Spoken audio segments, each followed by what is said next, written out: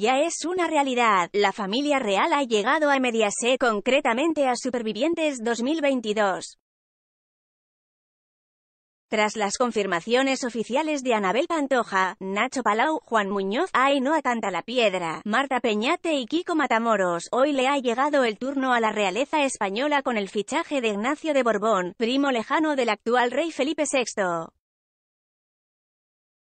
El chico de 21 años que trabaja como modelo para la agencia Francina Models es toda una referencia internacional en el mundo de la moda, sobre todo en Asia, que es donde vive Corea del Sur.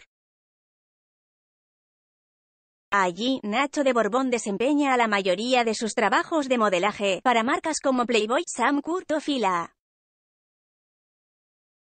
Eso sí, lo que mucha gente se pregunta realmente, valga la redundancia, en estos momentos es de dónde viene el parentesco de Ignacio con Felipe VI de Borbón. ¿Por qué son primos? Al parecer, todo se remonta a la relación de su abuelo, el conde de Artois, y de su tatarabuela Enriqueta de Borbón, duquesa de Sevilla, con Juan Carlos I. Nacho de Borbón pertenece a un linaje de reyes ilustres como íbamos diciendo, el abuelo de Ignacio y el rey emérito tenían una estrecha relación. Tanto es así que Juan Carlos I estuvo muy unido al conde de Artois hasta el día de su fallecimiento. Un vínculo que sin embargo se difuminó tras este difícil suceso, rompiendo los lazos familiares entre ambas familias.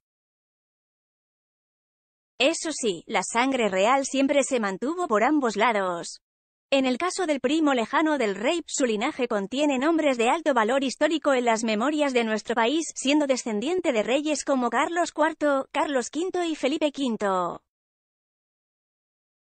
Una genética más que evidente si observamos los rasgos físicos del chico, compartiendo muchas similitudes con su actual majestad, rubio, ojos azules y rostro angelical.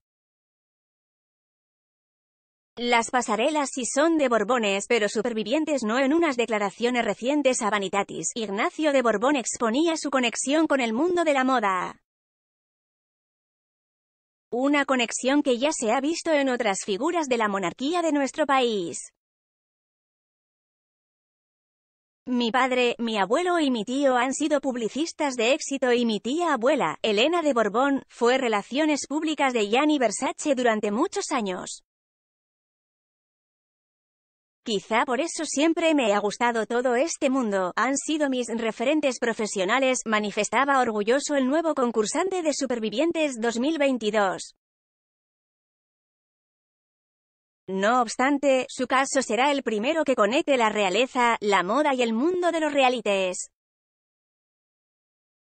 ¿Saldrá bien la mezcla? A finales del mes de abril lo comprobaremos.